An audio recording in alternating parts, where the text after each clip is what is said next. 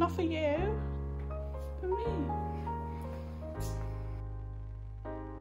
So I finished my breakfast and now I just have to wait until my dad drives me to the train station. And I guess that's my morning done. So hope you enjoyed this video and thank you